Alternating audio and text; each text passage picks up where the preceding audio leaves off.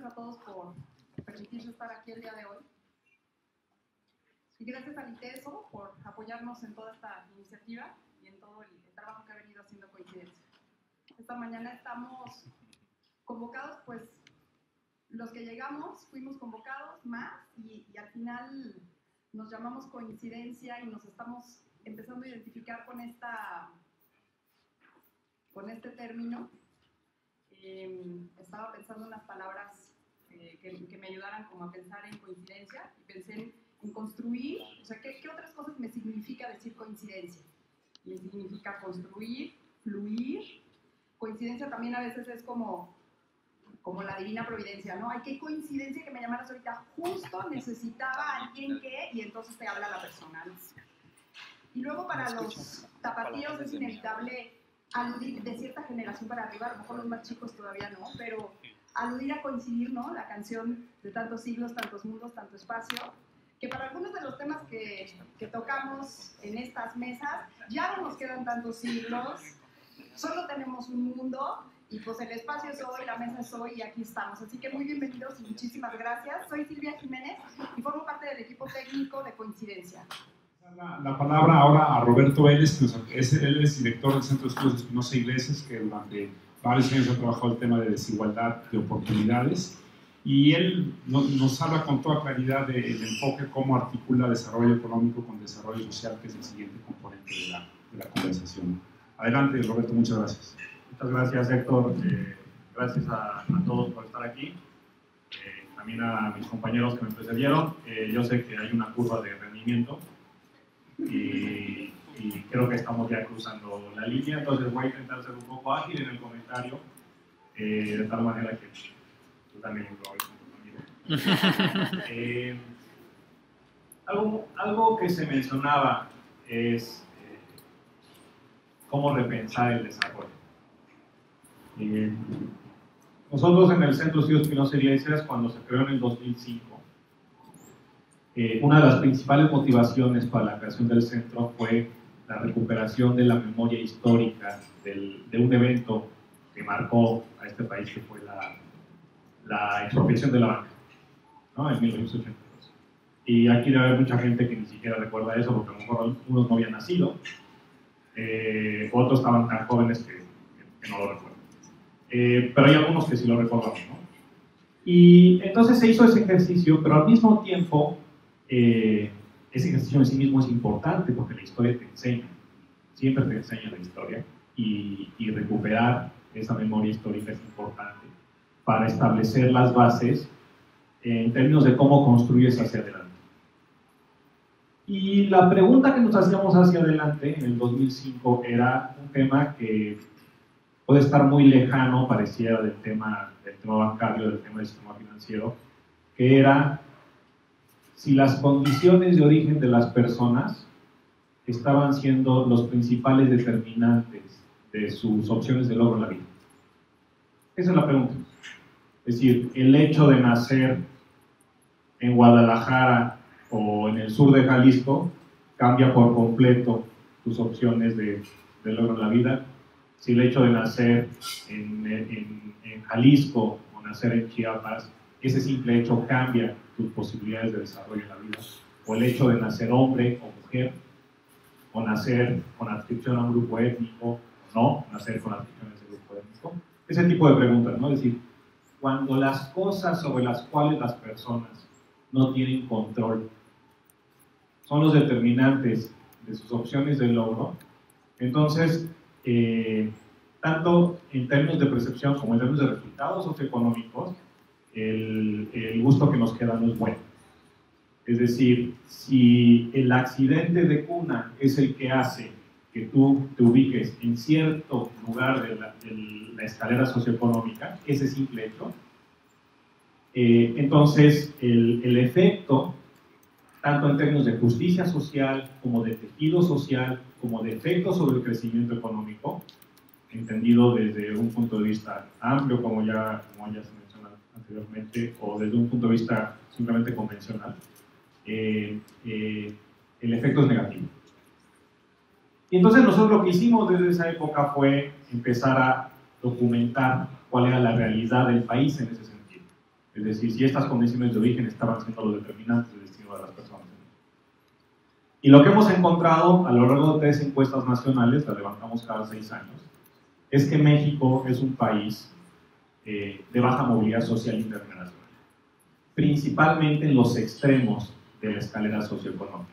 Es decir, el hecho de nacer en la parte baja de la distribución, en la parte baja de, en, el último peldaño, eh, casi te condena a quedarte en el primero o segundo peldaño, bajamos uno de cinco peldaños, y el hecho de nacer en el, en el peldaño más alto, eh, al menos en más del 50%, te asegura quedarte ahí independientemente de lo que hagas o de lo que dejes de hacer.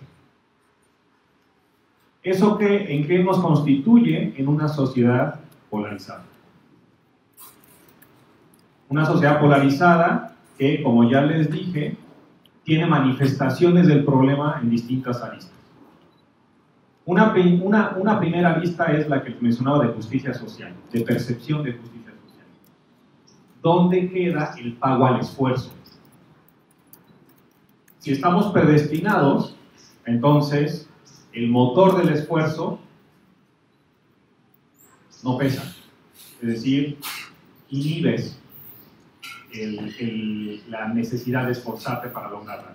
Tú ya sabes, o que ya lo lograste independientemente de lo que hagas, o que no lo logras, vas a lograr independientemente de lo que hagas. Eso es un, es primer punto. Uno, segundo, tiene que ver con lo que les decía de cohesión social.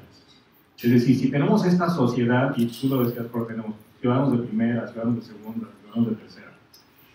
Eh, si tú tienes ciudadanos de primera, segunda, tercera, pero además de que son de primera, segunda y tercera, no hay puertas que puedan cruzar los de, eh, los de tercera para subir a segunda, los de segunda a primera, y los de primera tienen resuelta la vida y saben que la puerta para caer no este, tiene varios candados puestos.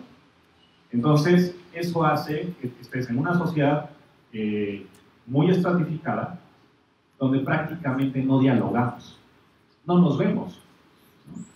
Yo soy de Puebla, pero vivo en Ciudad de México, eh, y aquí en Guadalajara seguro tiene un lugar igual, porque en todas las ciudades tenemos lugares así. Pero en Ciudad de México eh, tenemos Santa Fe, y es una barranca además. Y entonces arriba de la barranca, no sé si es así, pero siempre lo digo así, ahí Arriba de la barranca están los de arriba y abajo de la barranca están los de abajo. Y los de abajo ven a los de arriba. Los de arriba no sé si se, se a ver los de abajo, pero los de abajo ven a los de arriba. Y saben que no hay una escalera y que nunca van a llegar ahí. ¿Cómo construimos estos consensos de los que estamos hablando? ¿Cuáles son nuestros canales de construcción de acuerdos? Ya no vamos a pedir eh, es imposible construir consensos totales, ¿no? Pero ¿cómo construimos esos canales? ¿Cómo definimos una función, objetivo en términos sociales eh, que nos permita decir, queremos este tipo de país? Y dado eso, entonces, ¿qué tenemos que hacer para lograrlo? ¿Dónde están nuestras decisiones presupuestarias? Eso es muy, es muy complicado construirlo en una sociedad tan alejada eh, en términos de, de sus componentes unos de otros. La de crecimiento económico, la razón de crecimiento económico es muy importante. Si ustedes han visto los, eh, la discusión de los, de los últimos tiempos, eh, tenemos este problema donde no estamos creciendo en términos económicos y hay un argumento que dice, bueno, no estamos creciendo, pero estamos distribuyendo mejor. Entonces, más allá de entrar a la polémica, a final de cuentas, tú necesitas crecer. ¿Sí? Porque, porque de, ese crecimiento tú vas a tener cierto mecanismo de distribución. Aquí la pregunta en todo caso es si tu mecanismo de distribución lo que hace es impactar positivamente o no al crecimiento. Es decir, cómo se construye el crecimiento.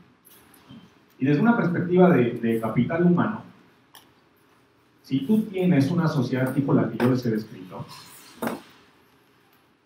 entonces, lo que a final de cuentas está sucediendo es que el uso, primero, el desarrollo de tus recursos humanos está limitado.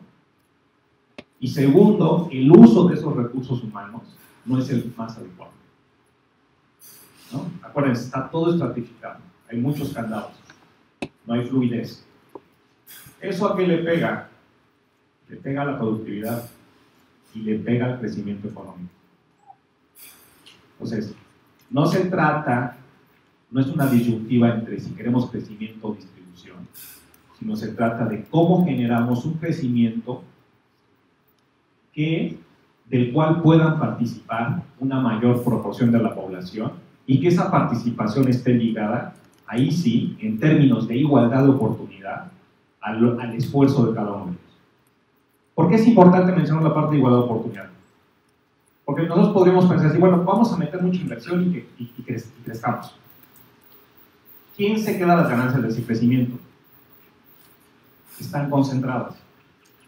¿Cómo construimos los mecanismos para que una mayor proporción de la población y en una mayor proporción cada uno de los, digamos, más desaventajados puedan participar de ella a través, por ejemplo, de su salario? ¿Cómo le hacemos? ¿No? Con igualdad de. ¿Qué entendemos nosotros por igualdad de oportunidad? Con lo que empecé. Si lo que determina las posibilidades de participación de la población tiene que ver con accidentes de cuna, entonces no estamos funcionando.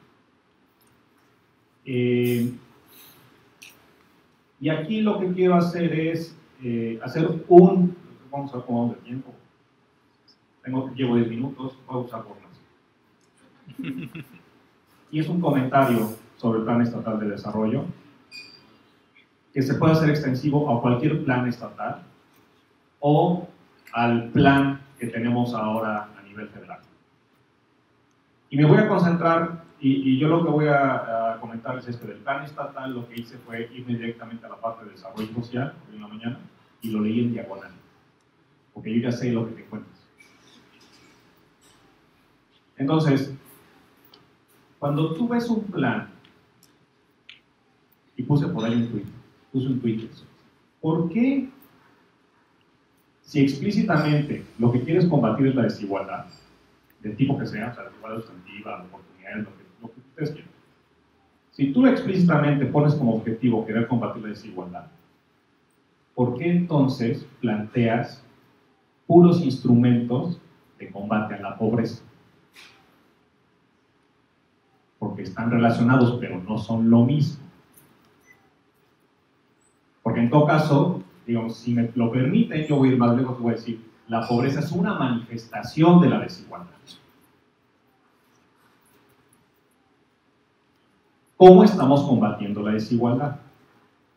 Yo sé, y es muy valioso nuestra pobreza multidimensional, nuestra medición, pero también nos ha llevado a situaciones donde lo que hacemos es empezar a pegarle en el margen para cruzar las líneas de las carencias y de los ingresos. Pero entonces nos estamos olvidando del problema estructural, el problema de las desigualdades. Nadie va a estar en contra de que enarbolemos la bandera de las desigualdades, difícilmente, sobre todo si hablamos de desigualdad de oportunidades. Luego, si hablamos de desigualdad de resultados, puede haber estas disyuntivas, ¿no? Crecimiento, de, de resultados, etc. Pero si estamos hablando, por ejemplo, de desigualdad de oportunidades, es difícil que alguien esté en contra de ese discurso. Pero el hecho de que enarboles el discurso en términos de tu motivación, no implica que cualquier cosa que tú propongas, entonces va a resolver problemas. Entonces, si vamos a repensar el desarrollo, repensémoslo en términos de definiciones básicas, en términos de conceptos básicos y en términos de construcción de mecanismos mucho más efectivos, efectivos que los que hemos tenido hasta ahora para poder combatir un problema que en el caso particular de México se manifiesta a través de la pobreza. Ese es mi mensaje y estoy abierto al diálogo.